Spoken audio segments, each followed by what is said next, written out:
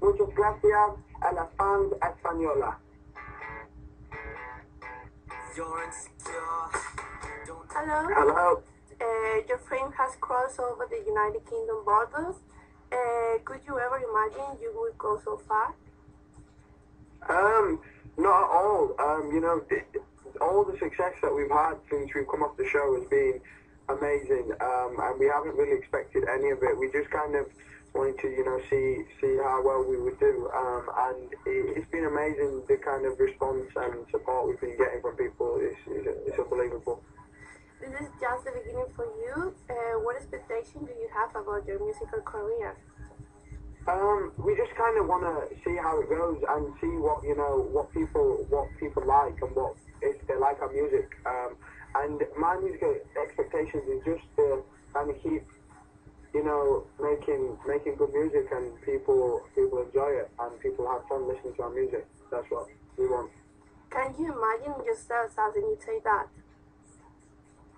Um, not at all. Um, if people if people say it to us all the time, and it is it's a massive compliment. But um, we don't think we're anywhere near the level of Take That yet.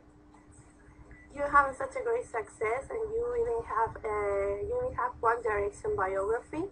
Uh, are you referring about this? Because I mean, uh, everything is happening so fast. Yeah. Um, everything is happening very fast and it's very exciting. Um, you know, we we're just getting on with it. We're just doing what we're meant to be doing. Uh, we're just uh, you know performing performing to our fans at the minute. We're on our UK tour, uh, UK and Ireland tour at the minute, um, and we're just we're just doing what we we're meant to do. I think if we you know if we look back and take a second to think, is it moving too fast? We'll probably get lost. So we're just kind of uh, we're kind of just going with the flow and um, doing doing what we need to do. Uh-huh. And there are many musicians that say that it's very easy to lose your mind when you are in a good moment in your career. How do you manage? How do you manage to keep your feet on the ground? Um, you know what? I'm very lucky. Um, I have a very supportive family, and uh, you know, I have very supportive friends um, around me uh, all the time, and they've kept me kept my feet grounded uh, on the ground, and um, I'm I'm still massively grateful for everything that you know, every opportunity that I've been given, um, and I'm just enjoying what I'm doing at the minute. Um, I'm sure it's true that you probably can go a bit crazy when your career's uh, going well, but um, I've got my feet on the ground, and uh, hopefully I'll stay that way. How you have you ever feel overwhelmed by this fan phenomenon? Yeah, it, it, all the time I feel overwhelmed. Um, when I'm on stage performing, I feel overwhelmed. Um, to know that these people come, um, you know, from home to come and see us, and they come to see One Direction, and it's amazing. You can't really ever really get your head around it. Um, it's uh, it's unbelievable experience, and um, I'm very grateful for everything that we've been given. Uh, what do you feel about? What do you think? Sorry, what do you think about uh, these other groups, singers? Like they have millions of fans around the world, just like Justin Bieber, the, jo- the Jonas Brothers, Demi Lovato. What do you think about them? Um, they're really cool, um, and they, they're pretty much doing the same thing that we're doing, you know, young age, um, and they're pop stars, um, and it, they're really, they're really cool. They seem like really nice guys. You know, we've met, we've met uh, Joe Jonas. Um, he did Radio One Teen Awards with us, uh, and he was really cool, really nice guy. You know, still got his feet on the ground. Um, and we've met, we've met uh, Bieber a couple of times as well, and it's just it's refreshing to kind of see that you can, you know, have the success and still be the same person that you were before.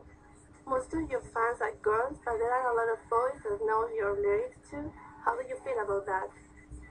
It's amazing because we all said that we don't want to just appeal to girls, you know, we want some male fans as well, uh, and we want guys to think we're cool as well, and, and that's really cool that, you know, we kind of have some male fans, it's really cool.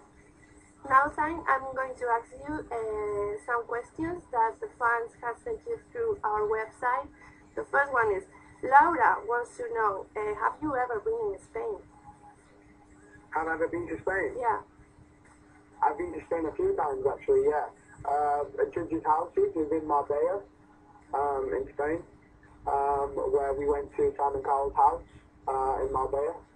Um, and then I went on a holiday actually um, last last May uh, to Marbella, uh, and it was amazing. It was so nice, amazing. And Carlota says if you can say something in Spanish.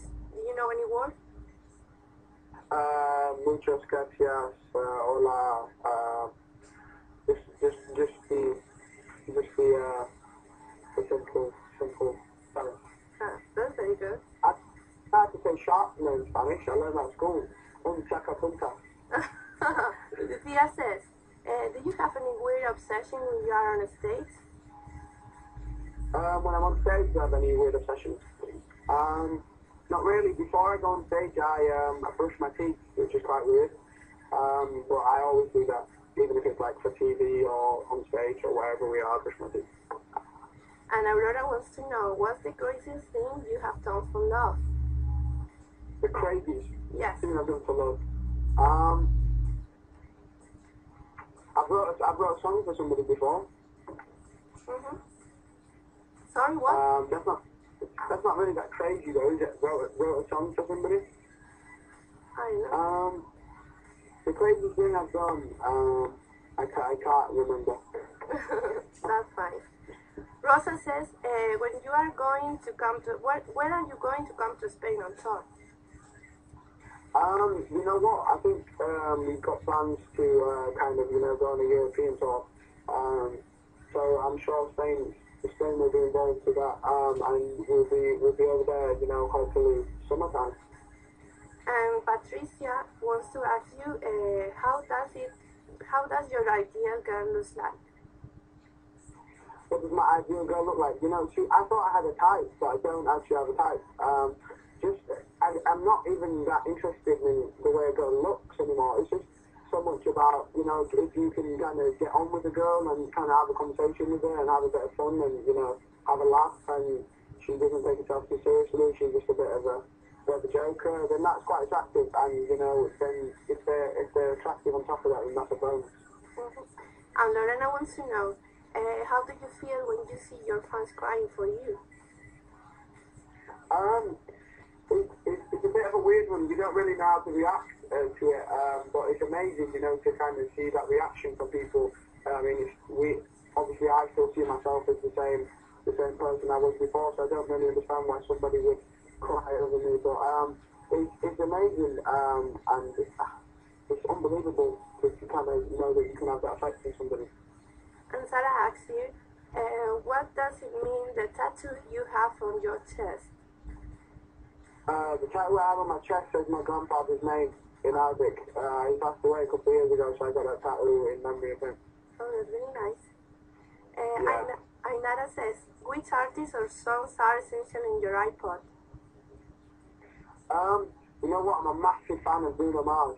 Uh, a massive fan of Bruno Mars.